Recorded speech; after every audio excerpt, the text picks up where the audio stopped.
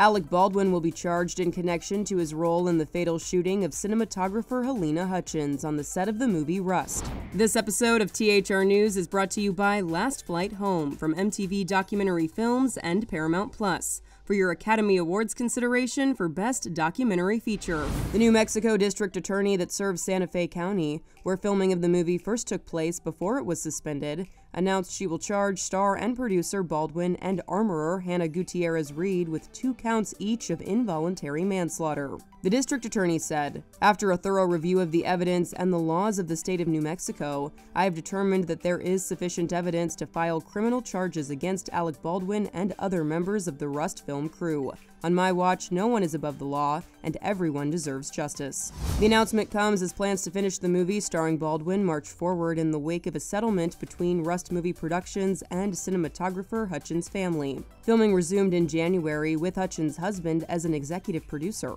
Hutchins was shot and killed on October 21, 2021, when an old fashioned revolver being handled by Baldwin went off. He was handed the gun by assistant director David Halls and told that it did not contain live ammunition, but it discharged, killing Hutchins and injuring director Joel Souza. Five live rounds mixed in with dummy rounds were found on set following the shooting. Halls signed a plea agreement for the charge of negligent use of a deadly weapon. The terms include a suspended sentence and six months of probation. For much more on this story, go to thr.com. This is the Hollywood Reporter News.